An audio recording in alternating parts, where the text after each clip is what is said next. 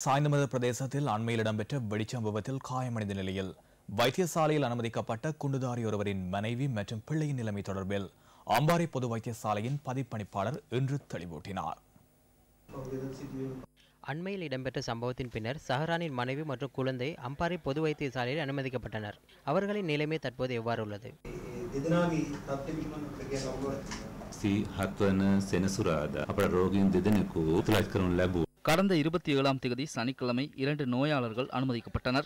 அப்போது வைத்தியசாலையில் அவசர நிலையொன்றே காணப்பட்டது. குழந்தையொன்றும் பெண்ணொருவரும் அனுமதிக்கப்பட்டனர். அந்த சந்தர்ப்பத்தில் அவர்களின் பொறுப்பை வைத்தியசாலையின் வைத்திய குழுவினர் ஏற்றனர். தேவையான அனைத்து சோதனைகளும் இடம்பெற்றன.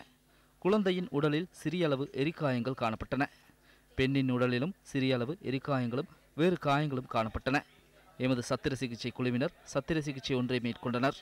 தற்போது அவர்களின் உடல்நிலை தேறி வருகின்றது වුණා දැන් ඔවුන් තාමත් පහසුවෙන් ඒගැන සෞඛ්‍ය මට්ටම දියුණුවින් පව